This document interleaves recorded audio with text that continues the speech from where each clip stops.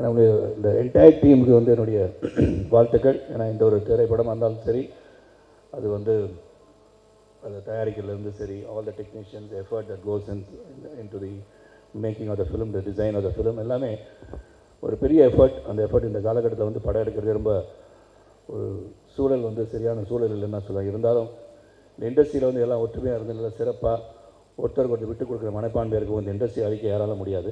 முடியும் thing I can say நம்ம நிறைய தகவல் சொல்லிட்டாங்க. இந்த தகவலாம் நாளைக்கு தான் பத்திரிக்கையாளர் கேட்பாங்க. இது ரொமான்டிக் ஹீரோனா எப்படி சார்னு கேட்பாங்க. எனக்கே தெரியாது. ஏன்னா ரொமான்ஸ் வந்து நான் பிறக்க முதல்ல காதல் பண்ணிகிட்டு இருக்கேன் எல்லாரையும். மக்களை காதல் பண்ணிகிட்டு இருக்கேன்னு சொல்கிறேன் ஜென்ரலாக சிவா எது கேட்டான்னு தெரில அதனால் என்னை பொறுத்த வரைக்கும் இது ஒரு காதல் கதைனால என்னை பற்றி சொல்லியிருப்பாங்கன்னு நினைக்கிறேன். நான் அவங்கள காதலிச்சு திருமணம் பண்ணனால அப்படி சொல்லியிருக்காங்க. யாரும் தப்பாக எடுத்துக்காதீங்க. Romantic guy yes I like to romance with the entire life so அதனால் உலகத்தை காதலிக்கிறேன்னு எடுத்துக்கோங்க. போதும் இல்லைம்மா? அதுக்கு தான் ரொம்ப நன்றி. எல்லோரும் வந்ததுக்கு நன்றி. And I wish